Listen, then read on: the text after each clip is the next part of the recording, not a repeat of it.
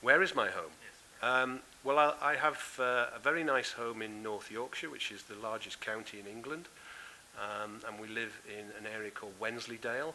Uh, the Yorkshire Dales are very famous, very um, tourist, uh, touristic area.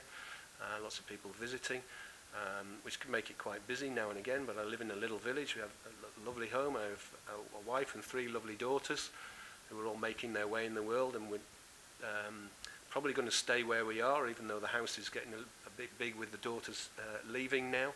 Uh, but we also have uh, a seaside property in Staines in North Yorkshire, about 60 miles away. And we get there as often as we can uh, to experience the beach, the sea, uh, and a very quiet life um, away from the, um, the stresses of work. Um, so I love going to Staines. So um, my home are two two properties, two buildings, uh, both in North Yorkshire. I'm a Yorkshire lad, um, and whilst I love New York, I'll always be a Yorkshire